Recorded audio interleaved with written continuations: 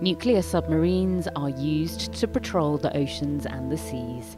Nicknamed the Silent Service, they carry a variety of weapons and can spend months underwater.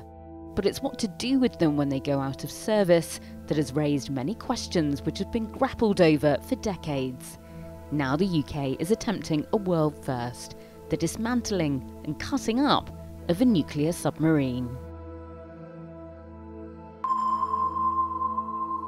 Taking a submarine from the day that it leaves service to um, what our end point is, which is turning it into razor blades and tin cans, that's our ambition, is quite a complex process and it takes quite a long time. There's roughly seven stages from it leaving service to final recycling and it starts off with the submarine being decommissioned. Uh, that means it's taken out of service. The crew are all paid off, which means that they leave the ship for the final time and that's quite an emotional uh, moment. A submarine which has been in service for 30 years or more is finally leaving service. So the first stage is called de-equipping, and at that point they take off all the equipment. Anything that is is able to be reused on other submarines will definitely be reused. Uh, a bit like moving out of a house, so you take away all the fixtures and fittings and you're left with just the submarine.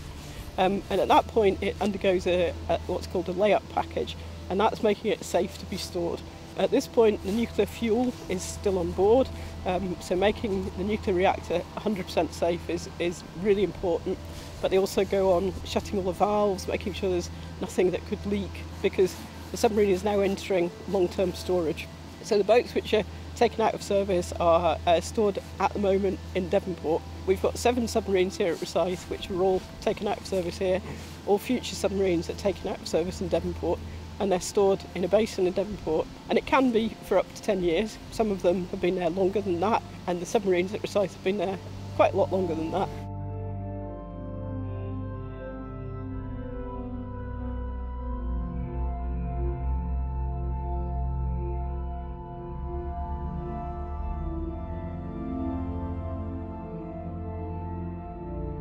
We spent quite a long time, about 10 years ago, looking at, at alternative methods. And the method we are adopting is this dismantlement, and no one else has done that. When we manage to cut it up by 2026, that will be a global first. No one else will have cut up a submarine. And in fact, interestingly, it will be a first for the UK cutting up a pressurised water reactor. Those submarines are small pressurised water reactors, which are uh, really just small versions of um, a UK civil reactor like Sizewell is also pressurised water reactor and one of those has never been cut up. So we're blazing the trail not only for uh, the Navy but also for civil nuclear decommissioning um, and that's what's so exciting about it. The Submarine Delivery Agency is responsible for dismantling 27 nuclear submarines 21 of which are already decommissioned and have left service, while six currently continue to be operated by the Royal Navy. There are seven submarines stored safely and securely at Rosyth Dockyard in Fife and 14 at Devonport Dockyard in Plymouth. It's at Rosyth where three defueled submarines have already started the dismantling process. About 90% of the metal in the overall submarine is free of any radioactivity, so can be cut up and recycled quite easily.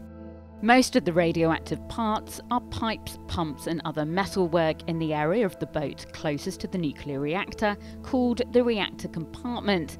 This area is being cleared out at this stage of dismantling, starting with mostly smaller components containing lower levels of radioactivity. It's the largest pieces in the reactor compartment, such as the reactor pressure vessel and nearby structures that have higher levels of radiation, which get cut up and taken off next. At the moment, low level waste gets taken to a surface disposal facility in West Cumbria, where a lot of the UK's radioactive waste is being safely placed in concrete lined vaults, which will eventually be permanently covered with more concrete and earth and grassed over. The most challenging intermediate level waste will be taken to Capenhurst in Cheshire, but this won't be its final destination. The UK government is still working on where an underground geological disposal facility will be located to house this type of radioactive waste in the long run. The radioactive material which has a disposal route where we know where it can go is all taken off. Um, that's taken about a year and a half for each of the boats we've done here. We've done Swiftsure, we've done Reso and Revenge is the one in the dot, which is nearing completion. Stage two is the next bit, and that's the most challenging part, and in some ways, it's the most exciting part. Um, it's when you take out the, the what's left of the uh, centre of the reactor. Um, it's called the reactor pressure vessel, and really, it's just like a giant kettle, but it's the most radioactive part that's left. Um, so taking that out is key to the rest of the submarine being able to be disposed of like any conventional ship. Um, that process has been quite a long time in planning um, because it's a large piece of equipment and it's quite radioactive. And our absolute number one goal is safety. And the safety of uh, that second stage of uh, dismantling is, is paramount. It's safety of the workers, it's safety of members of the public, and absolutely safety of the environment. So our expectation is that we'll be able to do stage two, starting probably in late 2025, maybe sooner than that things go well. And then once that's out, the rest of the vessel is non-radioactive. It's just scrap metal and it can be put into the final stage of uh, disposal, which is recycling. There's lots of very valuable steel in there. There's other alloys. There's even gold. There's even some gold connectors in some parts of the submarine. So all of this is really excellent for recycling. It costs an estimated £30 million a year to maintain and store the current 21 retired submarines, and this programme to dismantle 27 boats is projected to cost more than £3 billion. The submarines are going nowhere. Um, the oldest submarine we've got at Rosyth is the original HMS Dreadnought. She left service uh, in the 80s um, and she's been tied up for quite a long time now. Um, again, very safe, um, but uh, unless we do something about them, um, we're going to run out of space. Not at Rosyth, but down in Devonport, where the submarines are going to come out of service. We knew 20 years ago that we, we had to do something.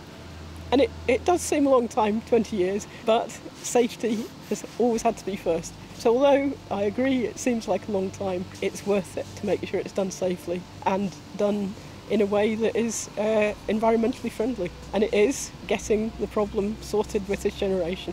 We don't want to leave waste for um, future generations to have to deal with.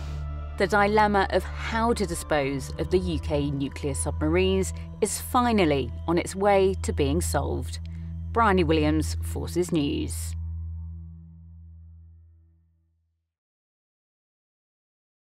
If you enjoyed this video, don't forget to like and subscribe to our channel.